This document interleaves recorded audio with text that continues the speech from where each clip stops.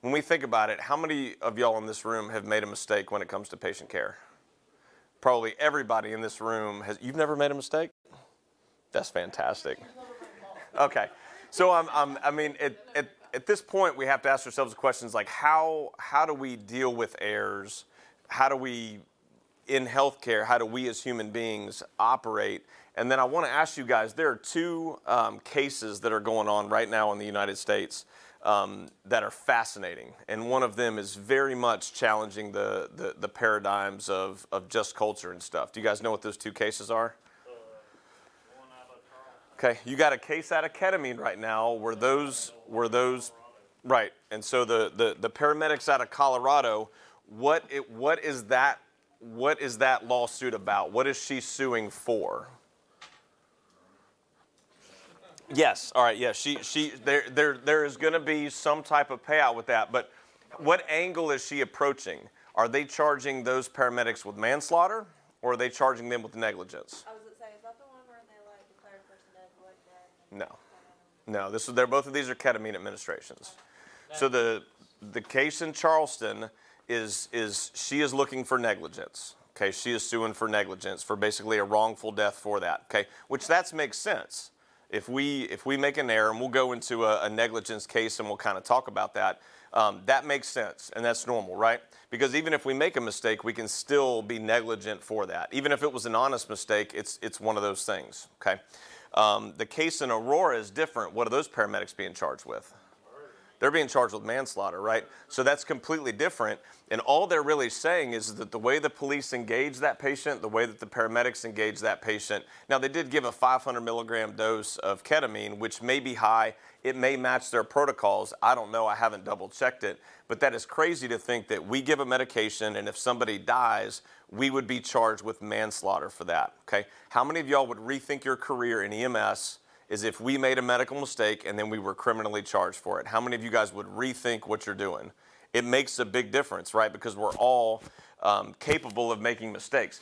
The same question would come out was if you're in a car accident and you hurt somebody, I mean, like, what are you charged with? I mean, and, and how does that work? Do you go to jail? If you incidentally are in a wreck and then somebody dies, not drinking, not dr- nothing crazy, you're doing your thing, you accidentally make a mistake and run a stop sign or something like that, are you charged with manslaughter or is that a mistake that, that people make? So some of the trends that are going on are really, really fascinating when it comes to, to just culture. And then I want to talk a little bit about crew resource management, which is a way that we safely do things. Can we create systems to do stuff?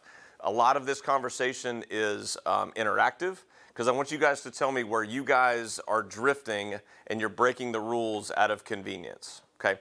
The last two years at Greenville County, I've had to do this lecture in a in an online format. They've had to record it, and I've had to put it out there ahead of time, which I do not like. And so when Mike asked me to talk about this topic this month, I was like, no, no, no.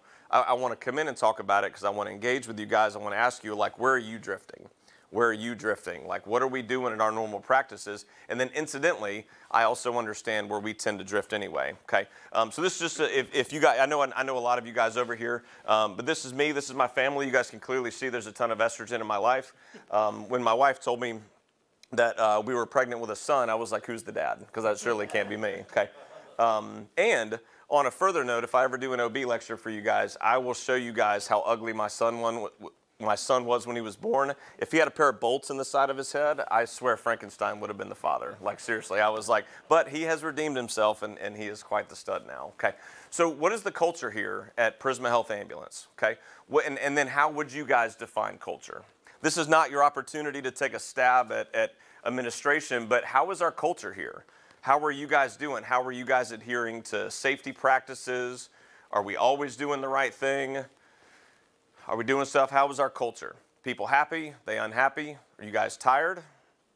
Are you stressed? Are we overworked? Has COVID stressed the world? You guys tell me, how would you guys define culture? And then talk for a minute about the culture here at, at Prisma Health. Because if you guys are amazing, then I probably don't have much more to talk about. Um, in the sense of if we're all doing everything right, then there's, there's, there's really nothing else to do. So, how would y'all define culture? I would say that we put a, put a focus on patient safety. Okay. Maybe, maybe, um, we actually probably go, we, we put a really good cul, uh, focus on patient safety, but maybe not crew safety. Okay. All right, that's good. So emphasis on patient safety, not as much crew safety as we need to. Okay. I like that. That's a great statement. also, which kind of allows, it doesn't allow for a drift, but it causes a drift. Okay. Somebody that doesn't have a white shirt on. well, okay. Slide yourself on over here now.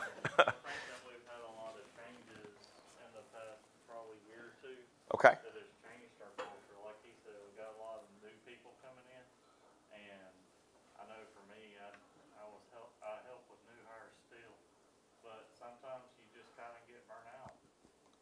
think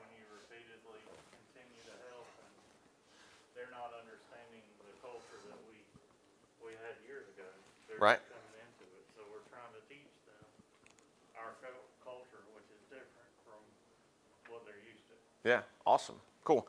Um, and, I, and I think all those things are, are absolutely relevant when we when we talk about culture. As we go through this and we talk about things, you guys are going to really need to think about what is your organizational culture around safety, whether that's crew safety, whether that's patient safety, and then how do you guys engage with that? Okay, uh, as we go through it. So I want you guys to think for a second and, and, and really think about it. Have you guys ever made a patient error? And if you did, how did you deal with it? Does anybody want to talk about an error that they made and, and how they deal with it?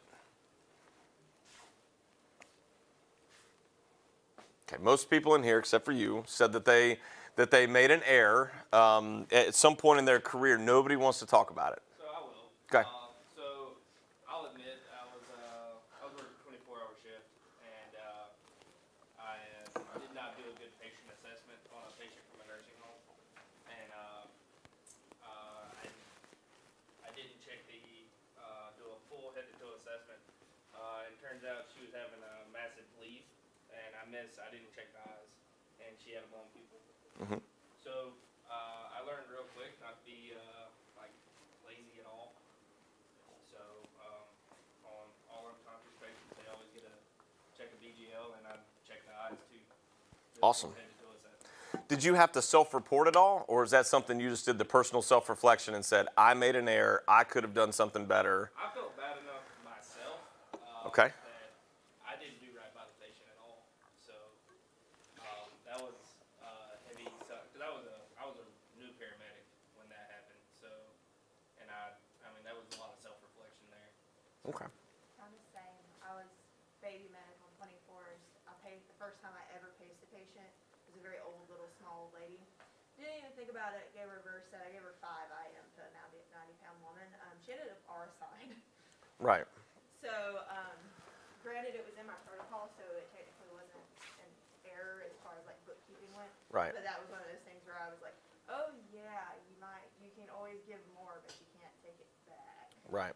Now, how did you? So it was in your protocol to do that. Yeah, so you didn't go outside your protocol, so you didn't have to self-report that or anything. No. Okay.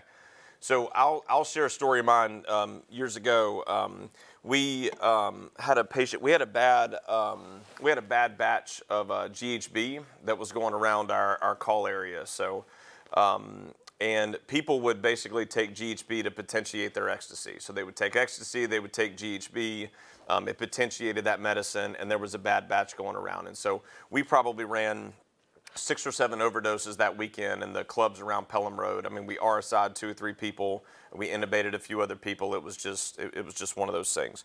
Um, and so, yeah, What is GHB? um, it's um, so GHB. They they make it. They carry it around. It's like neon green. They carried it around in like pours. At uh, if you had cranberry juice or something like that, like a mixer pour at a um, at a bar or something like that. Um, but they used to sell it at GNC as a weightlifting supplement.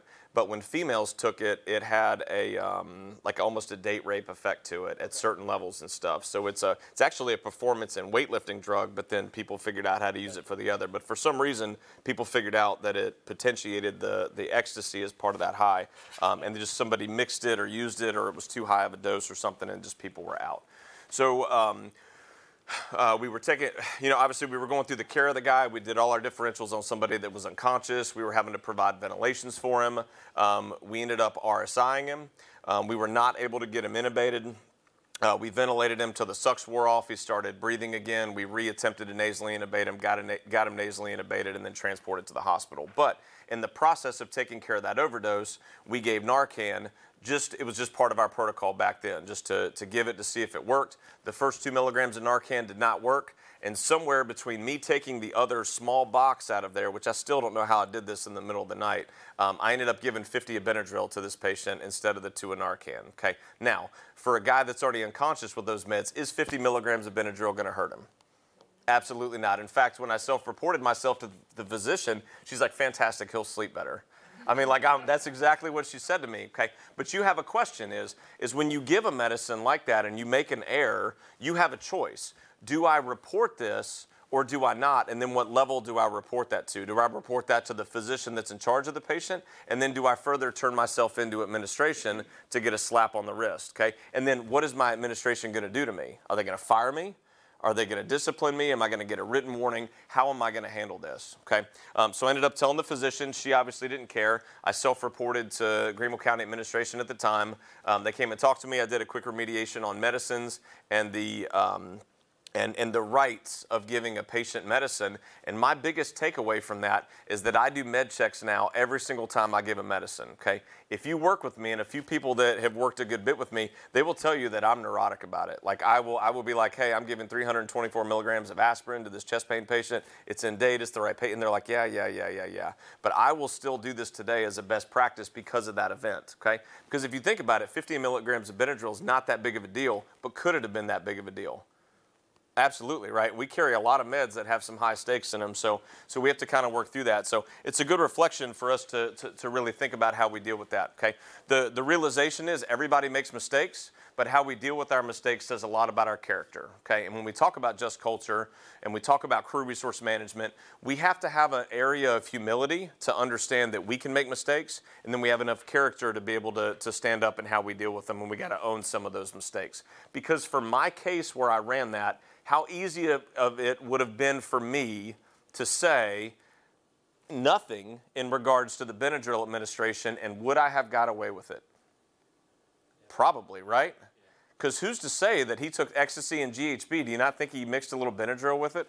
I mean, who knows if they did a tox screen on him and what they're going to look at. I feel like I, got, got, I would have got away with it and it's low consequence, but it's not the right thing to do, okay? So again, these are all things to think about, okay?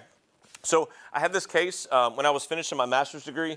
Um, I, I, ended up, um, we, we had this case study, and this is completely fictitious, okay? So this is basically Bright Roads Hospital, um, where Miss Smith, she had a surgical procedure done at her facility, um, and she subsequently ended up with an infection that increased her length of stay from five days to 30 days, okay? So I want you guys to think about negligence when we talk about this case, and is was this physician and other people involved guilty of, of negligence? Okay, but before we do that, so what are the four things that it takes to prove a negligence lawsuit? Before we get started.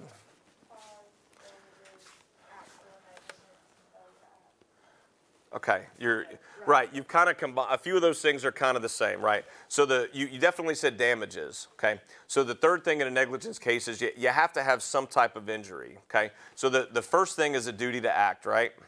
You call, we haul. If you're on a 911 truck or if you're on one of y'all's ambulances and you're signed in to work that day, if you get the call, then your duty to act is already assigned. Okay, there's nothing you can do with that. Okay, um, I think you kind of said it like you have a breach of duty okay, where you do something that is below the standard of care, okay? Do you guys think that the standard of care is really standardized and everybody agrees upon it? Okay, anybody ever been to court? Okay, anybody ever listened to an expert witness that comes in to talk about the standard of care and what's okay and what's not okay? There's a lot of fluff in what that standard of care is, okay? So you have to have uh, um, a duty to act, a breach of duty, an injury, and then what's the fourth thing? And it's actually the hardest thing to call to prove in a negligence lawsuit. Yes, it's it's it, well that that's different. That's intent. That's different. But you're correct. So it's it's causation or proximate cause that what you did, your breach of duty, was the cause of that injury. And if they can prove all those things, then then then you can be liable of negligence. Okay, um, and, and and you can go through that. All right. So what basically happened is is uh, Dr. Paltrow was um, rounding after surgery. Okay. and he was going around the surgical suite and he was checking on, you know, patient A, B, and C, and he had some residents with him. And as he was checking patient A to B to C, what do you guys think he did not do between um, between seeing patients? Okay, it actually is one step further than that. He didn't even change gloves between going and seeing this. This is fictitious. I'm not. I know Dr. Morgan's back here. He's probably sitting there like, "Why are you hating on physicians right now?" That is not. That is not what I'm. Um, no, but he did not change gloves between that. Okay. So um, the patient A must have had a MRSA infection or something like that, and so you know patient B and patient C, which eventually was Smith Smith, um, she did get a subsequent um, uh, infection from that. Okay. What was really bad about the case is there was a nurse there that saw Dr. Paltrow not change his gloves between the cases. Okay, why would she not say anything about that? She knows that's not the best practice. Why would she not say anything? Okay, because he's the doctor and I don't want to say anything, right? Okay, so Dr. Paltrow is wrong for not following the standard of the, the standard of care, what we would agree, changing gloves, washing hands between patients, and then the nurse also it's problematic because she did not say anything about that. Okay, now does that does that show that we have a problem with hierarchy?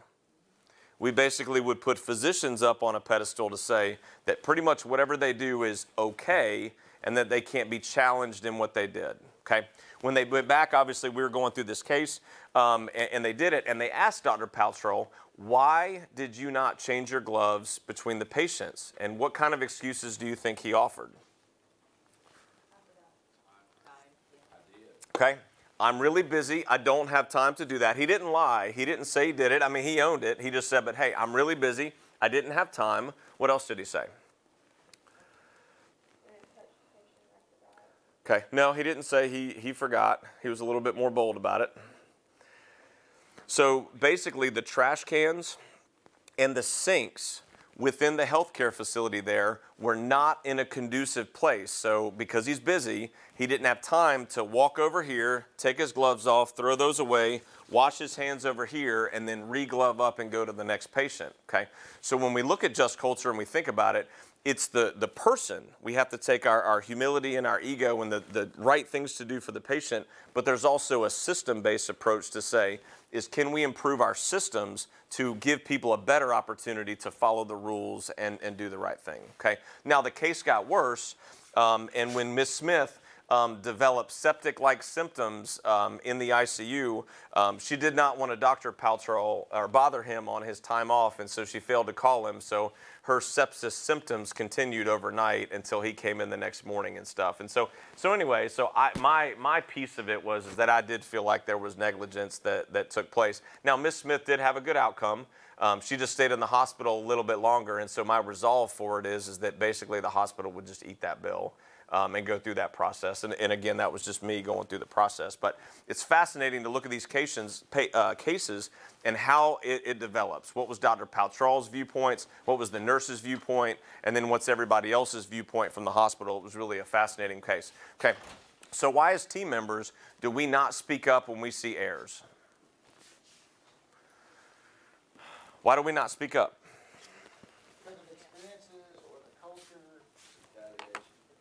Correct. Right. Right. We're, we're, we're fearful of retaliation. Okay. And I, I, absolutely agree with that. If I say something to you as an experienced provider, um, you know, are you going to retaliate against me? Okay. And then further, if I say something to you on a call and then you don't fix it, and it's a high stakes, and I always throw out the example. So if you and I are running a call together and you say, I'm going to give this patient 100 milligrams of intracardiac epi because I think that's going to work, like, I hope that at some point I look at you and say, I'm sorry, did you, you just said 100 milligrams like Pulp Fiction, intracardiac epi? Like that's, we don't, we don't do that. And you say, I'm so sorry. I meant one milligram of epinephrine IV. And I'm like, all right, that sounds a little bit better. I hope that I would provide that challenge in that moment versus letting you do that. Um, and going through that process. But I wonder if you're the senior person on the truck and you have a new paramedic that just got out of paramedic school that very much knows that we give one milligram IV of epi and you say 100 milligrams of intracardiac epi, I hope that new medic has the guts to say, I'm sorry. I, I want I want a timeout right now to talk about what we're about to do, and that you guys can resolve that for what's in the best interest of the patient. Okay. The million dollar question is: is how many of you guys would challenge a senior person if you knew they were about to make a mistake? Okay. You would. You would. Okay. How many of you would be hesitant about it? Okay. And when we sit there and say the hesitance,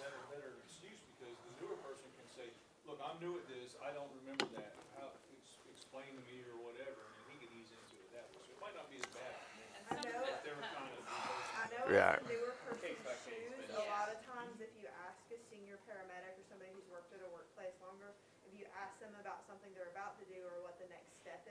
got response and learn your protocol. Correct.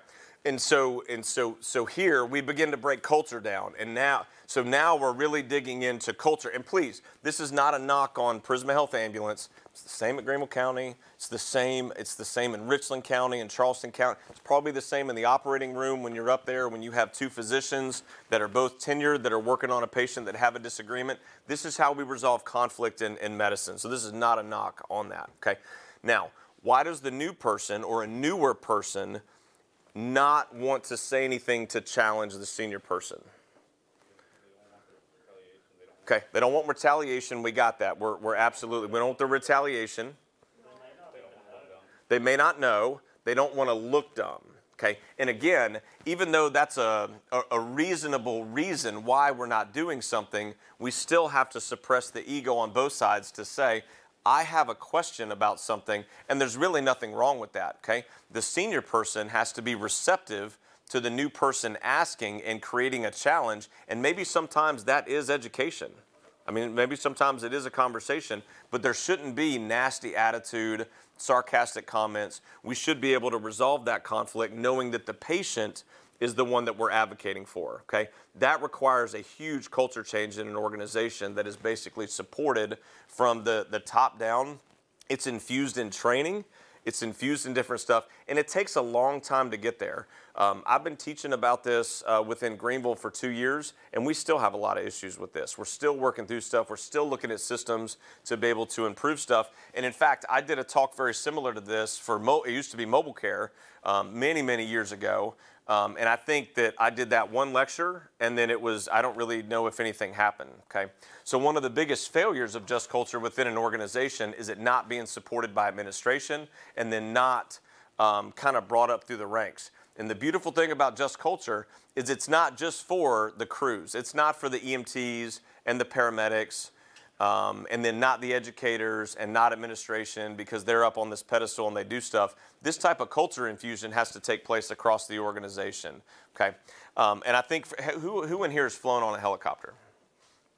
Okay, I know Tom has, and and I think that Tom will probably reiterate that in aeromedical culture, because it's close enough to the airline industry that really puts an emphasis on crew resource management and checklists and safety and patient advocacy, these things are infused in their culture and they've been around long enough that nobody bucks the system. Not nobody. Very rarely does anybody buck the system um, as a part of that process and they've just infused it in there, okay? If you buck the safety system in aeromedical, guess what? You don't have to work there. They have 80 paramedics that are lining up to take your job because every flight paramedic opening that comes up, they get 70 to 80 applications per job. So they got plenty of people that want to do it, okay? Um, yeah, please, yeah. There's also something to be said for when it's, um, it's different certifications, like, you know me, Absolutely. I've been around for a long Yeah. I've been working with baby medics who made decisions that were, even though they were within program, protocol, were not the best judgment for that patient. Sure. And even when I brought it up, oh yeah, yeah, yeah, it's it's protocol. We're, I I did what I I'm a medic. I I know. Mm-hmm. And it's like so there's that aspect of the culture as well, where we're looking at the letters after somebody's name and not necessarily the experience or the um, the knowledge of gained over time. Yeah, I mean, absolutely, and I and I think, and, and I'll actually I'll put this off on Dr. Morgan for a minute because it's, I mean, as how would a physician resolve conflict in in an OR setting or anesthesia in your specialty? How would y'all resolve con- between two senior physicians or attending physicians? Um, a lot of times we will say something to the effect of, why don't we discuss this after the case is over? Meanwhile, let's do this. So one person will kind of take the lead and say, here's the decision I made, and we'll take our personal issues and this conflict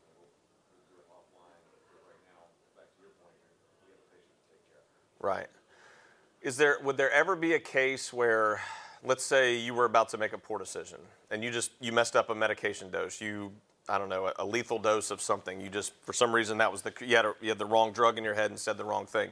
If a nurse heard that and she said, how would she create that challenge to you and say I'm like if she confirms that order, would it take place at that uh, Ideally, they would use cuss words. Okay. All right. I say that out of Team Steps, CUS. Right. C, um, let's see, um, concern, I'm concerned about that dose.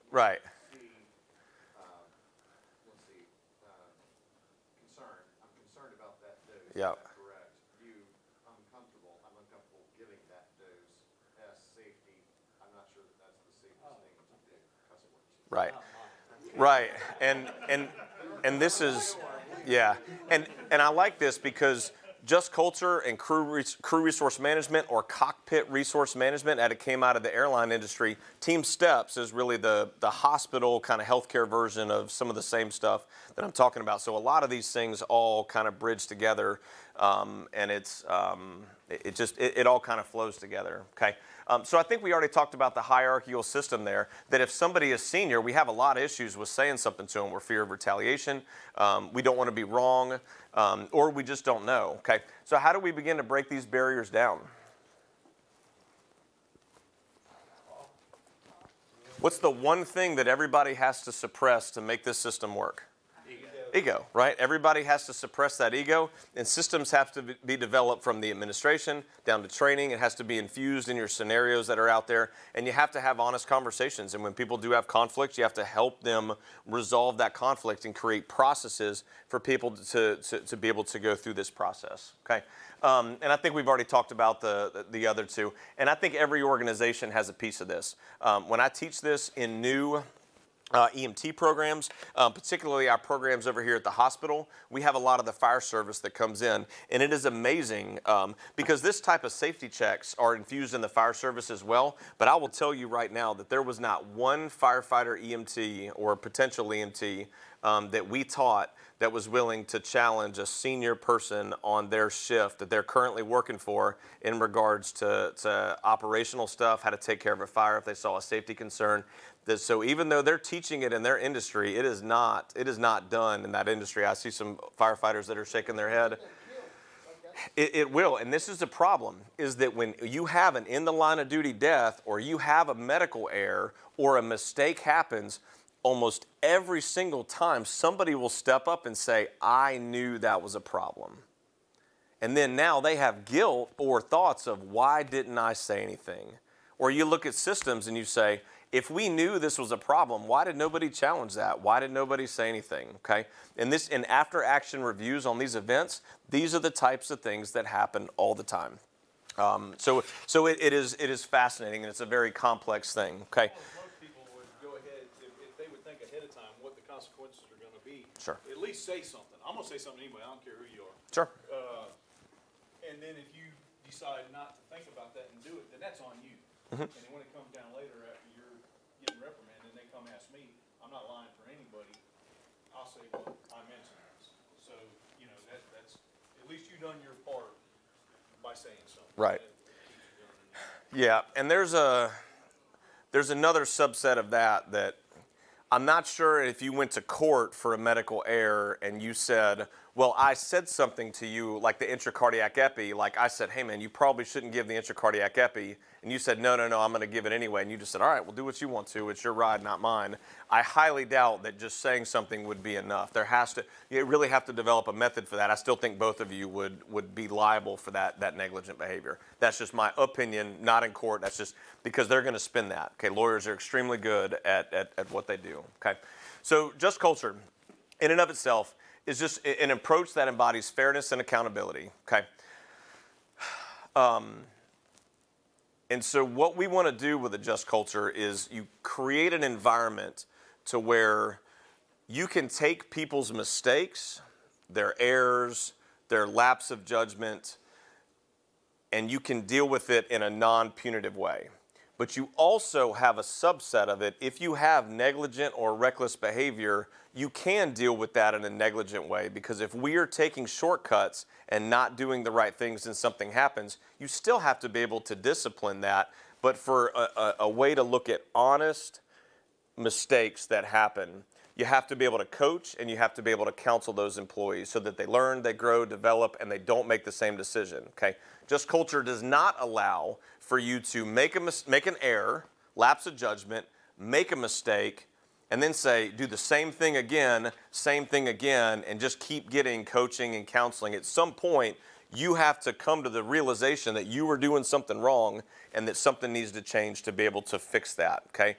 Otherwise, that does become negligent or deviant behavior, and it should be punished. Okay. A lot of people think just culture is a is an area where it's just completely non-punitive and nobody gets in trouble, and that is not the case.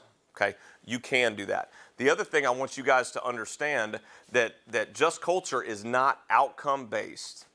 It does not mean that if you gave a medicine, if you gave a medication error and the patient dies, well now you have to be fired because the patient dies.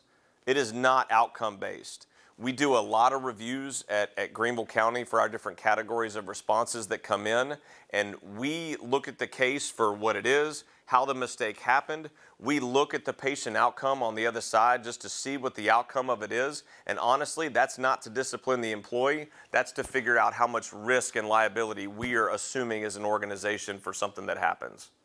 We just we want to have the full picture, but we do not make decisions on coaching, counseling, or discipline based off outcome of patients because that does not that doesn't matter. Errors are errors, and the outcome of the patient that just happens to be what it is.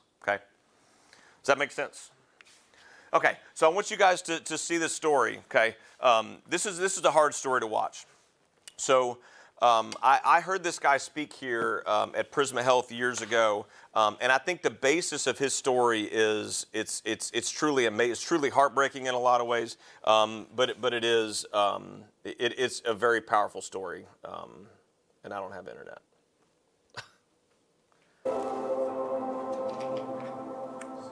Harrison, my oldest, and Abby being my daughter, they had two unique personalities, and they loved each other, and they got along pretty well. But Josh was the one thing they had in common that they both loved, uh, because he was their little brother. And so it's kind of like putting the exclamation point at the end of our family. We had finished as a family a spring break trip to Hilton Head, South Carolina, and we were making our way back home, and we were literally five minutes from the house, and the last thing I heard my wife say that day was, oh my word. Um, we were hit we were hit by three guys in a Ford Explorer who ran a stop sign, going about 55 miles an hour. Um, I watched as my wife took her last breath that day. Um, they found Josh lying in the edge of the trees, about 50 feet away from the van, and stopped. Uh, he was still strapped in his car seat, but he was lying face down on the edge of the woods, and he was unconscious. Josh was immediately sent over to Savannah, Georgia by helicopter, and for the first four days, Josh was consistently improving. The first time I walked into the room, I was just kind of very overwhelmed. Your 17-month-old doesn't belong in a place like that. And uh, he responded to my voice that morning. He stopped the moaning noise, he rolled over and he looked at me, he smiled at me, uh, which was a neat moment. Uh, that nurse, the one that was just really, really such a sweetheart to us, she uh, she asked me if I wanted to hold Josh while I was there. Said, yeah, absolutely. She kind of laid him down in my arms, and we had about 40 or 45 minutes to just kind of hold each other. Um, none of us could understand what the significance of those 40 to 45 minutes would later mean to me because it was literally the last time I held my son alive. By the time I left on Tuesday to go home for the night, I got that very strange phone call from the, from the hospital saying, can you please come back? And uh, I remember walking in that room that day into the midst of what felt like a very chaotic scene. And uh, that vice president from risk management walked in the room behind me and, and he said, well, Mr. Barron, your son's head wound has caused numerous seizures throughout the weekend. When your son had one of those seizures, we ordered a medication from our pharmacy and in her haste to make up the compound your son needed, she made a mistake and she sent up what is an adult dosage. It's actually five times the strength of what's required for a child your son's size. So when it hit your son's heart this morning, it stopped.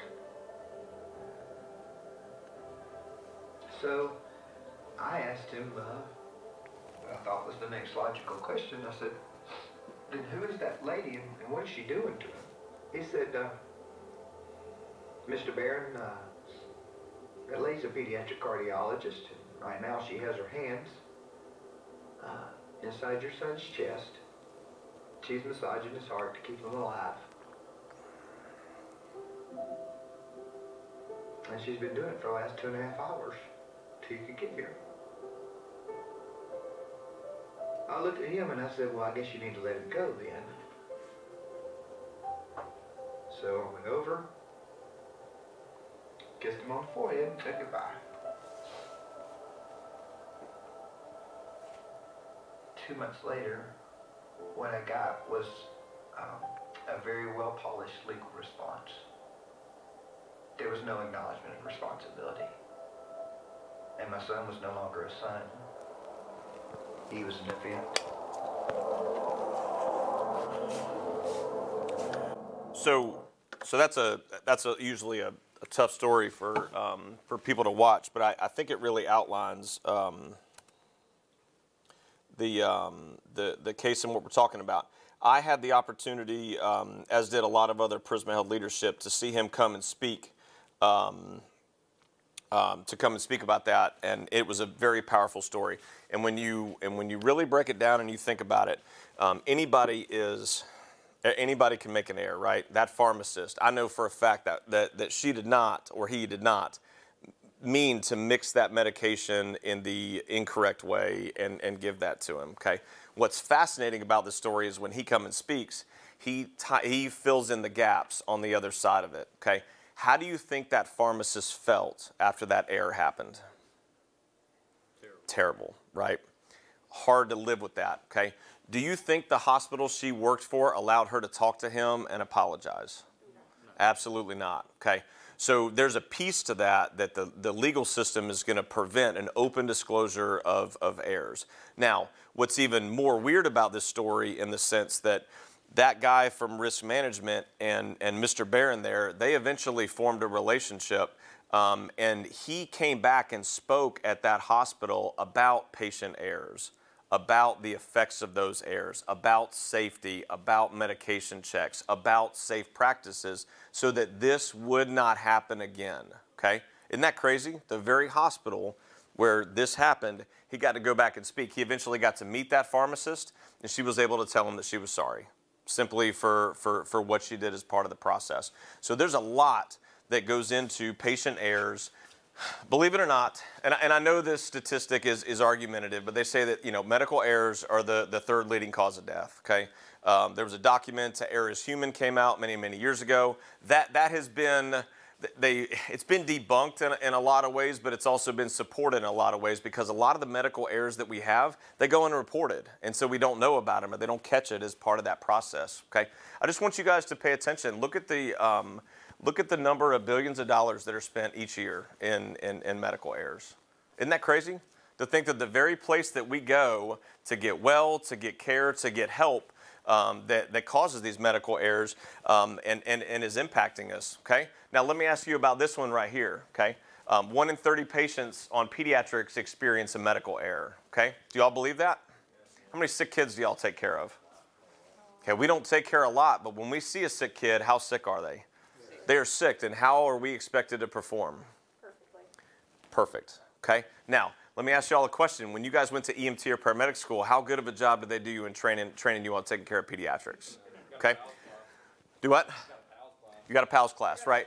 And, and, and this is not, we go through a whole pediatric module. The last time that when you guys, and this is not a knock on y'all CP because we're not, we're not far from it. Um, but when you guys do, how many pediatric sims do y'all run? When's the last time you guys did a, a, pediatric SVT in here? And went through the adenosine or the synchronized cardio versions or the conversions or doing stuff. So when you see a kid that has delayed, delayed, delayed capillary refill, lethargic, not breathing well, and a heart rate of 260, I mean, in real life, that gets your attention, right?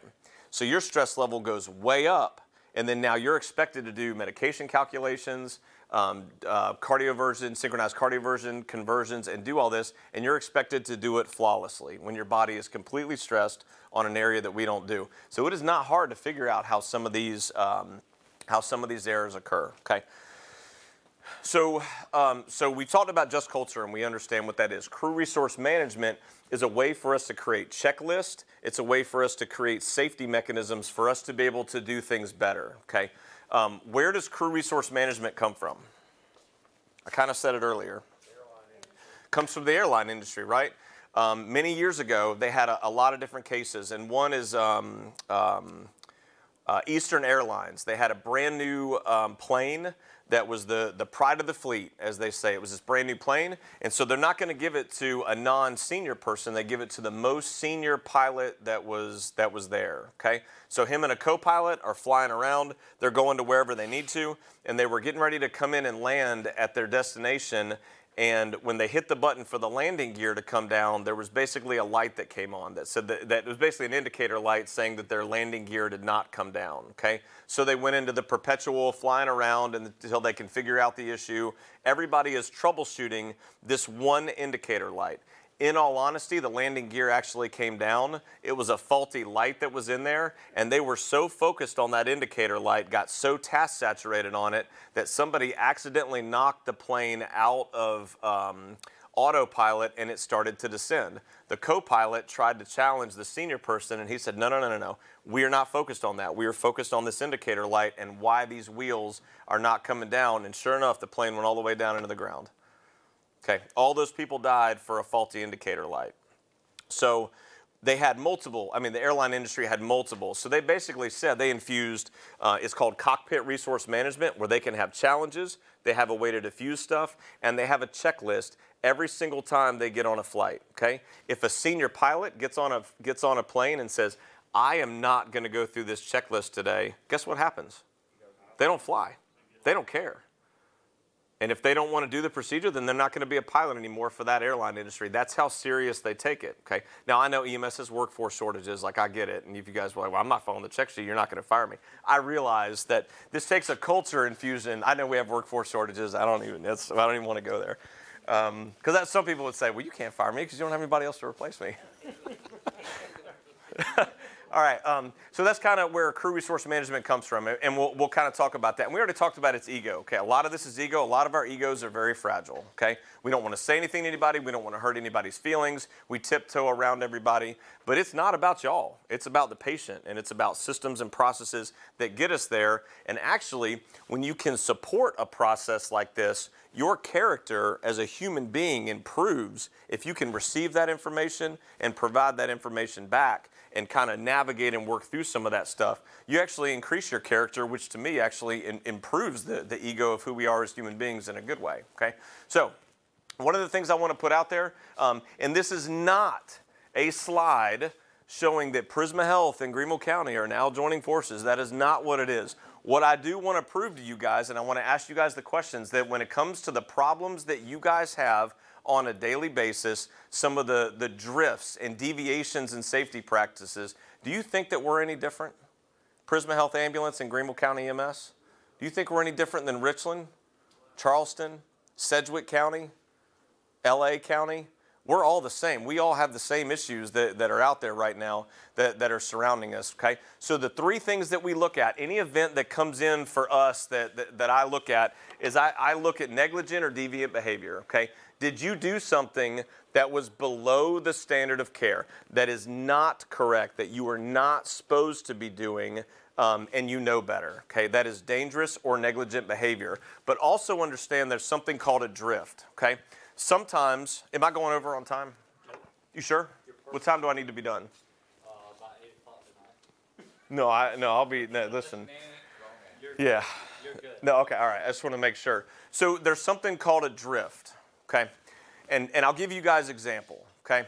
We call them, uh, well, I don't call them that, but um, our field crews uh, in Greenville County, some of them call the shoulder straps that are gonna, that go around the patient's shoulder to kind of protect them, they call them supervisor straps, right? Because we only put those on when the supervisors come around.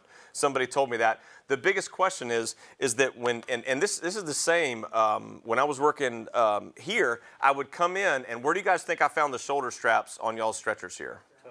They're tucked up behind there, right? So what we know is that's negligent behavior. You are not using a safety belt that you're supposed to put on your patient that will secure their shoulders in the event that you were in an accident. But this culture here considers that normal because it is it is it is not normal for me to come in and see them ready to go for the patient. They are tucked behind there, okay? So that's a culture drift that we have here where normative culture is ac- actually negligent and kind of deviant behavior, if that makes sense, okay? So you can have that culture develop, so we have to call it out and we have to do something about it, okay? Um, the other thing I look at is was it an honest mistake? Okay. Did somebody make a mistake? Did they not assess something that needed to be on a patient? That was an oops. If I did a clinical review on that, we would have had a talk. If it was severe enough, medical control would have joined me for that. It had gone down as a coaching or counseling. Not a written warning, not a verbal warning, not whatever. Um, but it's an honest mistake. You did something, you learned from it. We all walk away, and guess what? You're a better clinician for it today. And, it's, and, and that is a good thing, okay? Um, and then also look and see if we have a system issue, okay? Some of the things that we experience, some of the medication errors that are reported to us, if there is a logical reason or a system issue that that occurred, then we go back to the system and we say, man, I, I, I mean, that's, I, we can't really help that. We've got to create a better system for our employees to be able to operate safely within the, the, the constraints of that, okay? Um, the other thing, so opportunities for improvement, okay? Um, at Greenville, we added a timeout um, at, the, at the end of our, or in the middle of our RSI process, okay? Before we do that high risk procedure, you got your meds pulled up, you got everything, you're getting ready to do your med checks. You should be doing a timeout to say, is this the right procedure? Is my suction set up? Do I have my alternate airway? Do I have my my secondary alternate airway set up, are we prepared for this? If it's a burn patient, do you have a tube smaller, bigger, whatever the case may be? You're really going through that process to make sure that you're doing the right procedure for the patient um, and that you're going through that. I took a snapshot of y'all's protocol last night. Um, and I see that you guys do have a timeout right here, okay? Now be honest, the last time that one of y'all did an RSI, who did their timeout? You did a timeout? You did it? Did anybody not do it? Last time they did an RSI? And you don't have to admit it, but I'll ask Dr. Morgan since he's in anesthesia, do you guys not do a timeout before every surgery? They do one before every surgery, right? And that's standard. Do not deviate from it. Yeah, and that's that's the thing is that's well okay all right I'm I don't mean I'm sorry I I didn't know you were going to be in here and like I know Dr. Morgan really well and we've I, I just it's I just was an opportunity because as I've read some of this stuff and I've, I've studied it about timeouts before we do high risk procedures, the one place that I went to for information was OR and anesthesia. I went to that because that, as I understand that culture, they're very good at that. That is standardized. It's safety. It's about the patient. Make sure everybody's comfortable with what is going on. And if there's conflict, you resolve it before you move forward. So uh, it, it's a good thing. Okay. So, um, so opportunities there. Okay. Um, what about swabbing y'all's medication ports before you guys give medicines?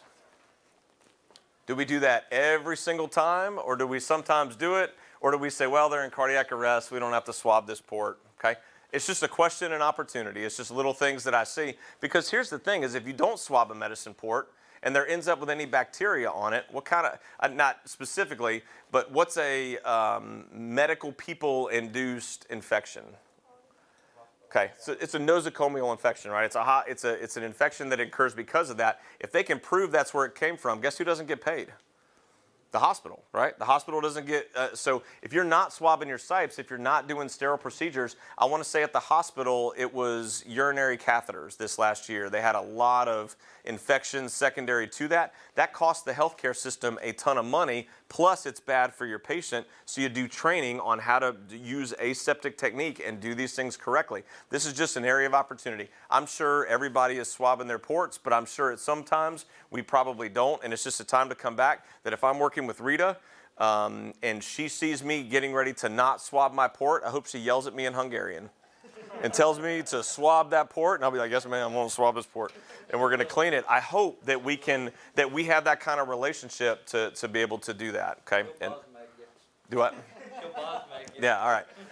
And then I also put the supervisor straps up there, okay? Because we know that those straps are tucked behind there, okay? Some people are using them as they should, some people did not, okay? But when you go back to a negligent um, thing, your job in EMS is to safely move the patient from point A to point B Any variation of that, you're going to lose a negligence lawsuit, right? You're supposed to safely take them from where they are at their house or hospital, put them on the stretcher, safely secure them to that stretcher, safely take them out to your ambulance, transport them from point A to point B, and then safely move them to wherever they are at the hospital destination or back at their home. If you don't put the shoulder straps on and you get in a wreck and they have an injury, they're going to come back and say, if you'd had those shoulder straps on, and there's nothing you can do to defend yourself. Nothing that I can think of in the world. Your, your organization, you're not going to go to court for that. Your organization is going to say, what kind of check? It's going to go to risk management, and they're going to say, how much can we write to that patient? That's like one of the first questions they asked too.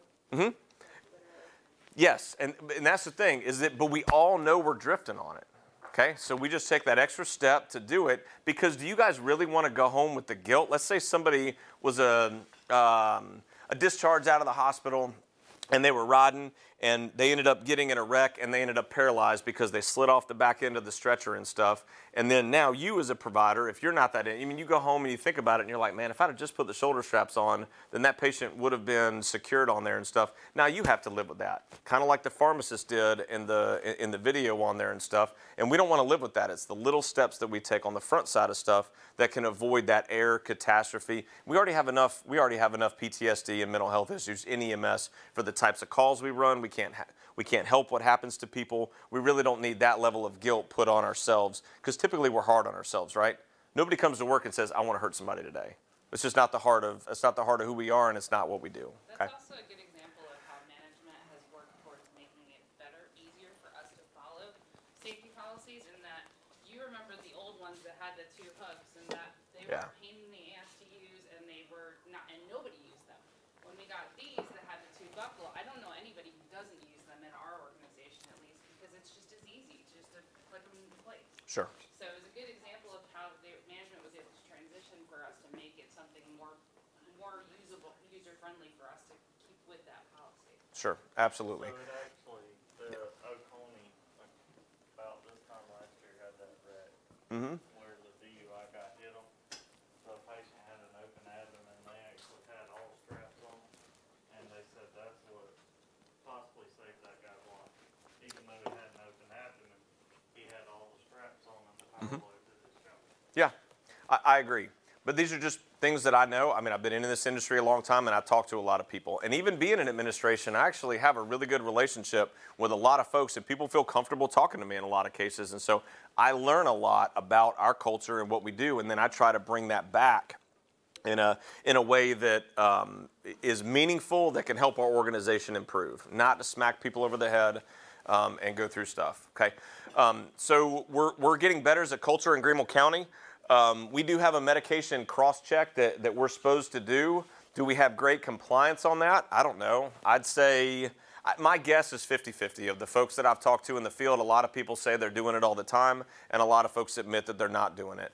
Um, I can tell you last year that a lot more people, the first year that I was at Greenville County, very few people reported any medication errors. This last year, from the changes in culture that we've had, um, I've probably had six to 10 um, self reported med errors um, to where we basically are doing coaching and counseling. Now, the problem becomes is every single one of those crews that had a medication error, when I asked them, did you do a medication check? They said no.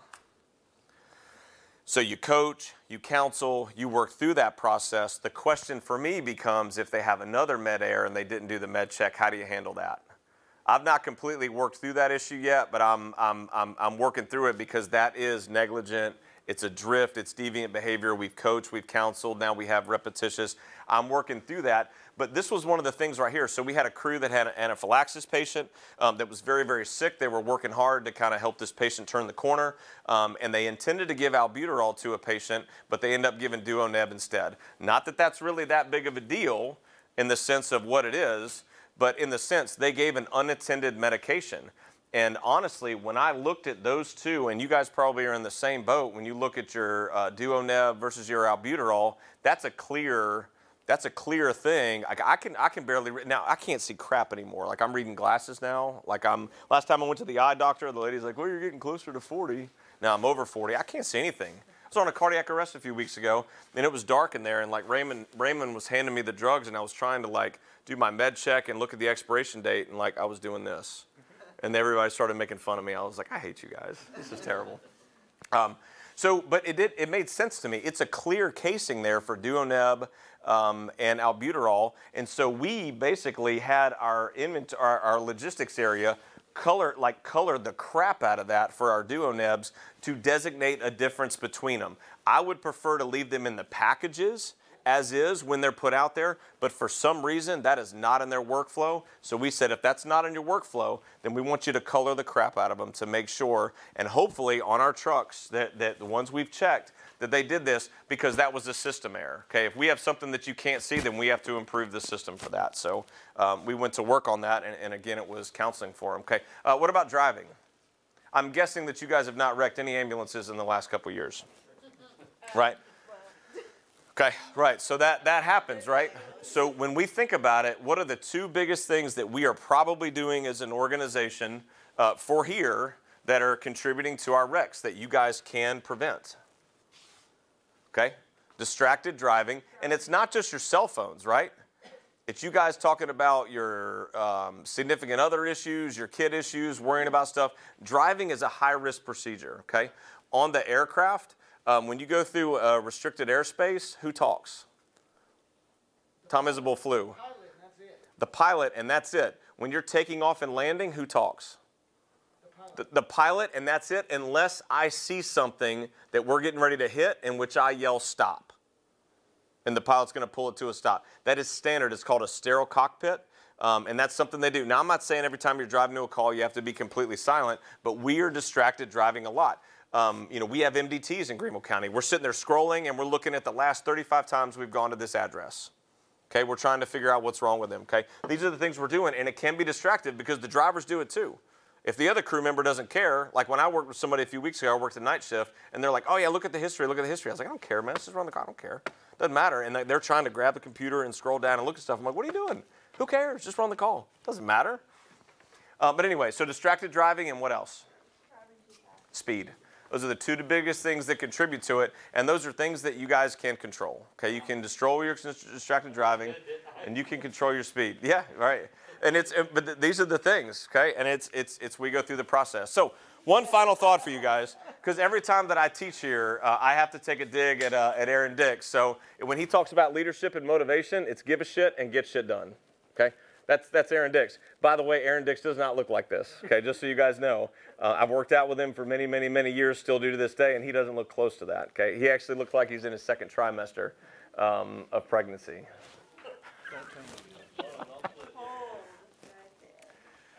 So, if he was here right now, he would tell you guys that Phil Head has been more on, been, been on more diets as if a 16 year old girl trying to fit in a prom dress. Like that's his standard joke for me as well. So just know that it always comes around full circle and it comes back. Okay. Um, I, I do think the, the world of Aaron, we're obviously good friends and stuff, um, but just to, to leave you with that, okay? Um, one thing about leadership, okay, and, and I, I love leadership topics. Um, if there's three things that I listen to on a podcast, it's going to be leadership, something religious, or something uh, about health and wellness, weightlifting and stuff like that, just, just diet, nutrition and stuff. Those are my jams, but I listen to the most leadership stuff just because it's a, it's a fascinating topic to me, okay? Um, so the, the, the law of influence, okay? Each of y'all as individuals has a chance to lead the organization in a better way, okay? To talk about patient safety, to put the straps on, to swab your med ports, to make sure you're not driving too fast, to make sure you're not distracted, to, to be able to call out errors. You as a new person should be able to say to somebody like, hey, I'm not sure I'm comfortable with that, okay? If it's an ALS, and we're not talking about the, you know, your EMT partner trying to make every patient a chest pain so it becomes an ALS ride. But if you as an EMT are truly not comfortable riding a patient, ask the question. There's nothing wrong with that to resolve that conflict. I have had that happen to me. And what I have done in the past with that is I was like, I will go ahead and take the call and I'll ride the patient as a BLS patient, and then we would talk about it afterwards and, and try to do that education. Not to make them feel bad, not to shame them, not to guilt them, but just to say, I'll take the call and BLS it, I'll take that responsibility, but let's talk about it afterwards and get comfortable with it, okay? And if I ever had the thought that I should have worked somebody up, I probably just go ahead and work them up anyway, because I don't want to go home and be laying in bed at night and think, gosh, what, if I'd have worked that patient up, maybe I would have caught this, or I would have done this, or, or something different, okay? So we have to think about us as, as leaders, because everybody is one. Your ability to influence others is huge, okay? This, this is an administration issue, it's an education issue, but we can tell y'all what to do, put procedures in place. Y'all have to follow it. So really, you guys are the most important ones when it comes to this, not the, the, the people that are, that are doing that, okay? So personal accountability, it's really just a means to, to um, patient advocacy and safety. And that's it. That's that's all I have for you guys. I, know um, um, Mike wanted to talk to you guys for a few minutes about a new policy that you guys have um, that, that's coming out to help guide some of this process, which I, I don't I don't know anything about. But he was going to talk to you guys at the tail end of this. Um, but do you guys before I um, and I'll sit around for a few minutes um, while he finishes up. Do you guys have any questions for me? Was this okay? Is that all right? All right. Okay. That I should. That was my last slide. Any questions? questions, comments, pondering thoughts, or ideas?